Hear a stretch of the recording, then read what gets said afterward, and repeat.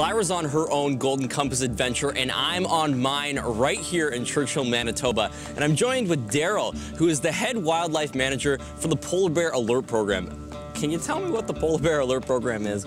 Basically, what it's set up for is, uh, you know, the protection of the polar bears, of course, and it's the protection of the life and property around uh, the town of Churchill. All right, Daryl, we're on our way to check the polar bear traps.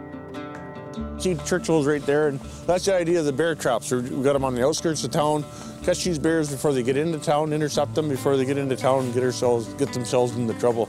Well, Daryl, the door's down. Does that mean we caught a bear? It's down for a reason. All right. we'll go take a look here. ah, it's a bear. Daryl, what happens now that we've caught a bear? Well, what we do is we'll take the trap out to our holding facility, and then we'll release him. You see what he's doing there? That shaking of the head? Yeah. That means he's mad.